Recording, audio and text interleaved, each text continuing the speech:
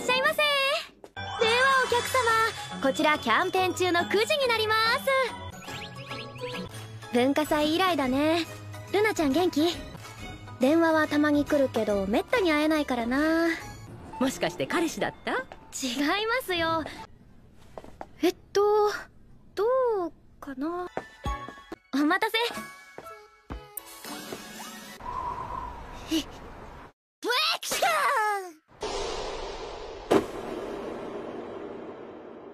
カ何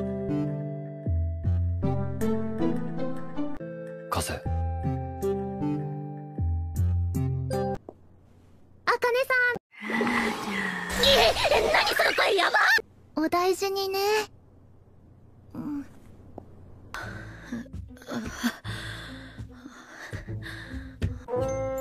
バスはやめよう。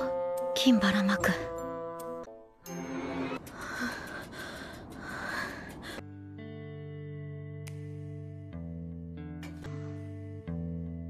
なんだろう。山田みたいなのが夢？